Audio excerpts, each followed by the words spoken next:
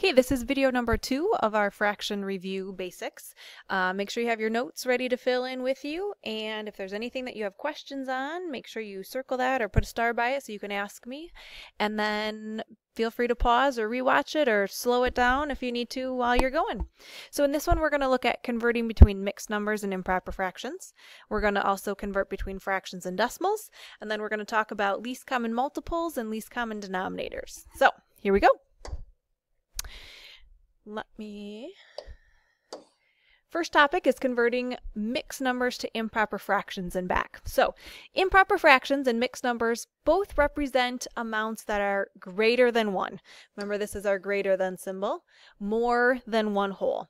So we're talking about things like 3 and a half or 4 and 2 thirds. Those would be mixed numbers where the whole number is written out front or improper fractions. 7 halves, 5 thirds. Um, just regular fractions, but where the numerator is bigger than the denominator. I have more pieces than it takes to make a whole.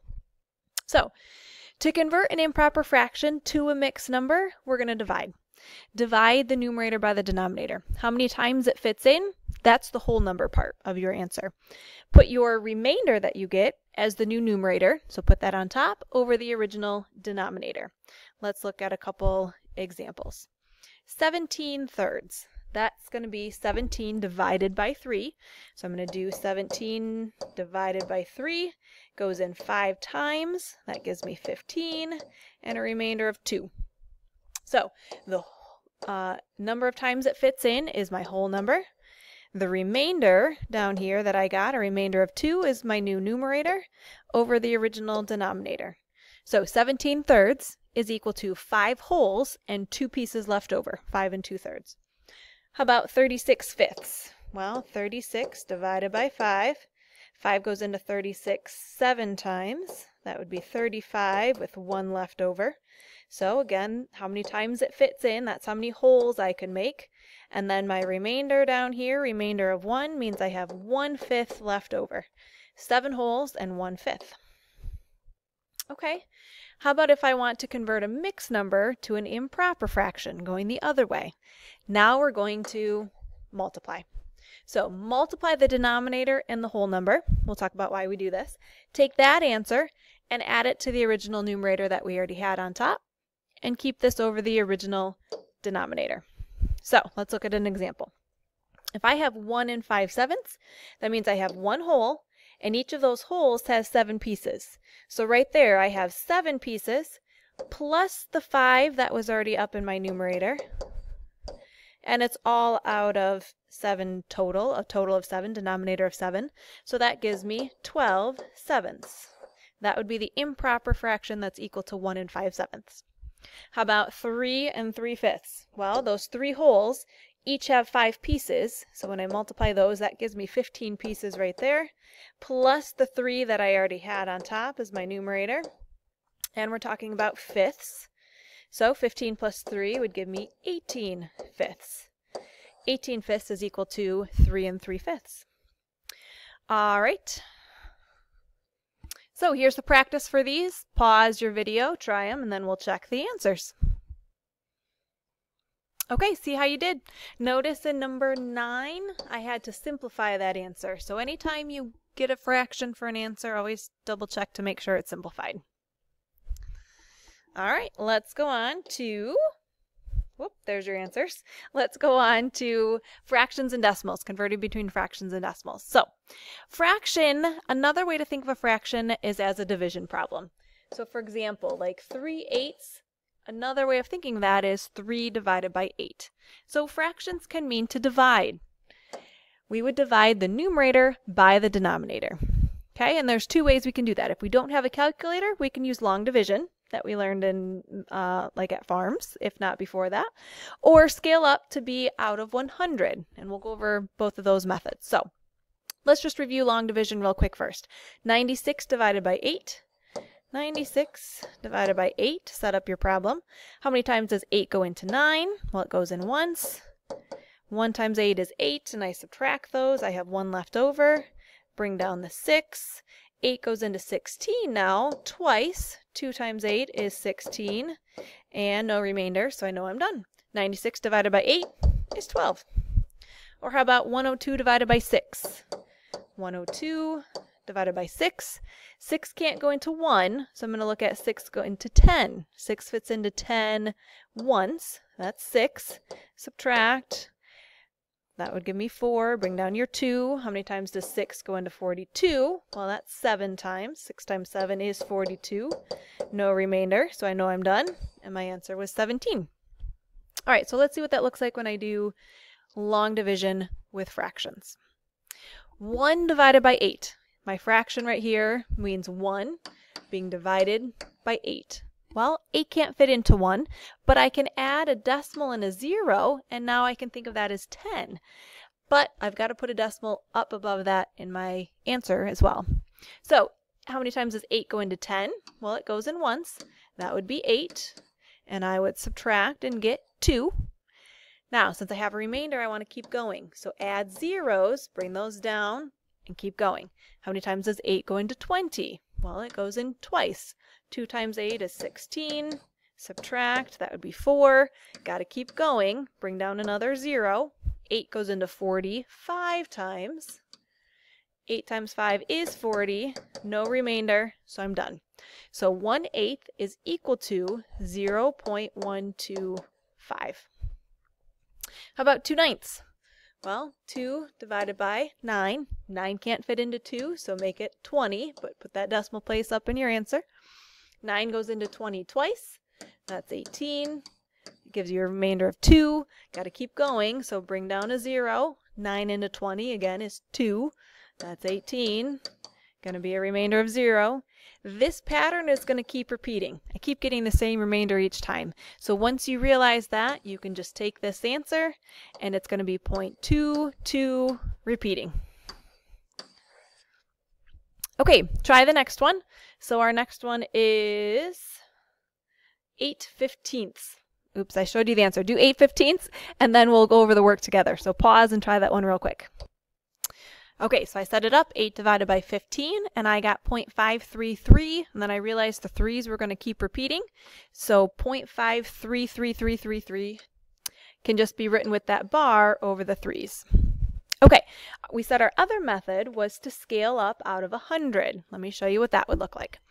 If you have an easy number that you can scale up so that you have a denominator of 100, that's another way to convert a fraction to a decimal. So let me show you what I mean.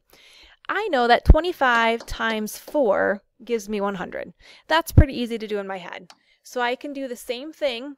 Since I multiply the denominator by 4, I got to multiply the numerator by 4. 3 times 4 is 12. And this fraction, 12 one hundredths, is pretty easy. If I just think of the name 12 one hundredths, that would be that decimal, 12 hundredths. Okay, how about 8 fiftieths? Well, I see that 50 times 2 would give me 100 on the bottom. So 8 times 2 is 16, 16 hundredths. That is that decimal. How about 20? Can you get 20 up to 100? Yeah, if I multiply by 5, so 11 times 5 gives you 55. 55 hundredths is this decimal. And that's it. All right, so try a couple of those. Pause the video and then we'll check our answers. Okay, check and see how you did. For all of these, you either need to show the long division, do it all out, or if it's easy to scale it up so that the denominator is 100, you could do that too. Don't forget your repeating bars if there's decimals that keep repeating. All right, on to changing decimals into fractions. So we talked about this a little bit, how these place values all have a name, and that's going to help us. So let's go through them if you want to write down this example. 0.01234. This is the tenths place, so that means out of tens. The 2 is in the hundredths place, out of 100. The 3 here is in the thousandths place and the 4 is in the ten thousandths place. So if you remember those different place values, tenths, hundredths, thousandths, ten thousandths, we'll be able to convert. Here we go.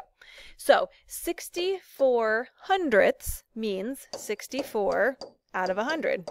And then I just have to simplify that. Or 4 tenths, this is in the tenths place, 4 tenths, and I would simplify that.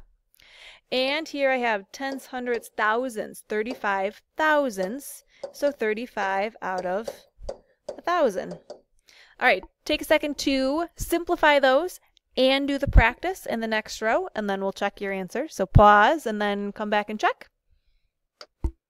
Okay, here's what I got. I simplified the top row um, as far as they could all go, and then check your answers to the practice. If you have any questions on this, make sure you make a note and we can go over it some more in class. Okay, our la- oh nope, here's your practice with these. So do these real quick. Again, pause, and then we'll check. So I wrote each of these out with the tenths, hundredths um, as a fraction, and then just made sure they were simplified. Make sure you look here at number 17. This is a whole number, so I had a whole 1 plus 5 tenths, and then that 5 tenths just had to be simplified down to 1 half. Okay, this is the last topic, uh, second to last topic of our um, second video. So LCMs, least common multiples. Least means smallest, common means shared, and then multiples. So multiple is going to be a number that when you multiply like your multiplication chart times 1 times 2 times 3 times 4 all of those answers are the multiples let's look at a couple ways we can find a least common multiple try the bigger number so for example, in 4 and 12, if 4 goes evenly into 12, 12 is going to be your smallest common multiple that they both go into evenly. So 4 and 12, the first thing they both go into is going to be 12. Mm, second way, list out all the multiples for both and then find the, the smallest one that they share. So for example, multiples of 6, 6, 12, 18, 24, and then 30, 36, 42. Let's stop there and see about 7. 7, 14, 21, 28, 35, 42. Soon as I get one that they both share, that's my least common multiple for both of them. So 42. Third method, multiply the two numbers together. So if you're thinking of all the multiples of 8 and all the multiples of 11, and you say, hmm, I really can't think of one that they both go into, try just doing 8 times 11. 88 is going to be actually the first number that they both share, that they both go into evenly. So, finding an LCM for 6 and 9. Well, I know 9's not going to work, so I have to just start listing out the multiples. 9, 12, 18, sorry, not 12 at all, 9, 18, 27, let's go with 6, 6, 12, 18. Oh, as soon as I have one that they share, that's the smallest common number that they both go into, the LCM. 5 and 8, 5, 10, 15. I could keep going, but I kind of know the pattern for the 5s. Let's go with 8. 8, 16, 24, 32, 40. Oh, I'm pretty sure five's going to go into 40. That's going to be the first one that they both share. So sometimes you can work through it in your head, sometimes you need to list them all out. Here's practice finding common multiples. So pause, write down your answers, and then we'll come back and check. So here's the answers. Check and see how you did. Sometimes it takes a little bit of work to write them all out. And our last topic. So we're actually going to stop here. We're out of time, but we'll start our next video with rewriting fractions with common denominators.